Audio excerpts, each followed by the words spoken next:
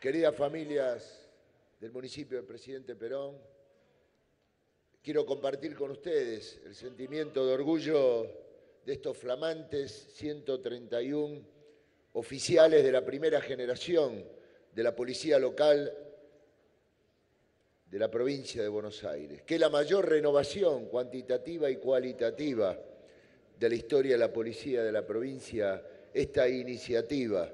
Y tenemos mucha confianza en ustedes.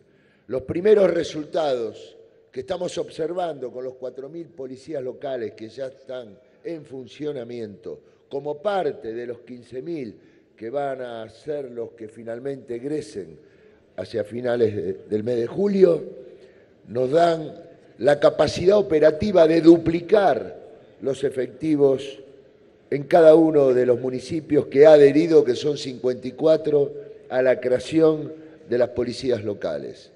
La provincia de Buenos Aires en su conjunto está llevando adelante una inversión histórica.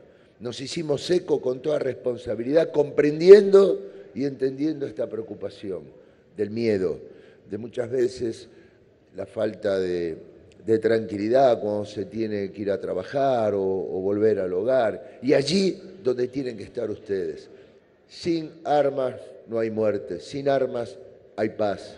Les deseo realmente una realización personal y profesional en este camino de vida que han elegido, que es una profesión muy exigente y de mucha responsabilidad. Muchas gracias.